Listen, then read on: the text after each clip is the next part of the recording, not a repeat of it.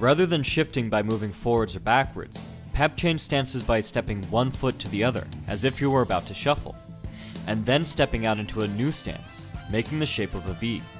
This made his movement incredibly non-telegraphic, and opened up whole new angles from which to attack, or retreat offline. Pep used this V step to move 180 degrees with little effort. On the few occasions that Pep's competitors managed to corner him, they would often find that they had switched places suddenly, and now they were the ones trapped in the corner. In this clip, you can see Pep V-step around his competitor in a way very similar to how Lomachenko does it today. Pep would even V-step as he circled the ring, constantly switching stances and never giving his opponents a chance to set up an angle of attack. The way that Pep squared himself up every time he stepped his feet together meant that he could smoothly move in any direction he chose.